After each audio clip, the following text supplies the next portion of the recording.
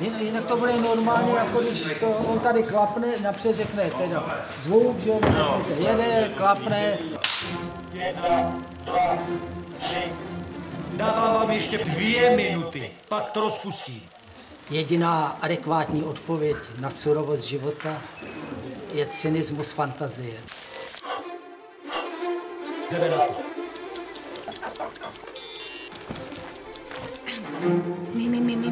Na scénu. Tady žije ten chrobák.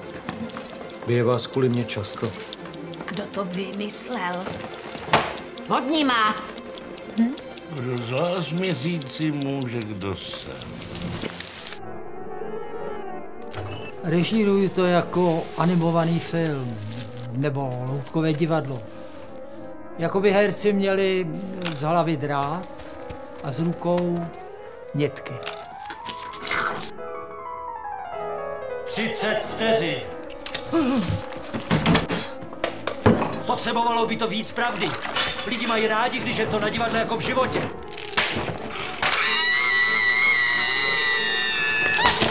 Tak jeden, jeden. Budeme mít děťatko. Moje kulička. Stůl přírody je pro scén pro všechny. To nevím. Já nemůžu. Čím trapnější to bude, tím lepší. Stop! Lidi se v hledišti musí dusit napětím a hrůzou. Já jsem vám to říkal.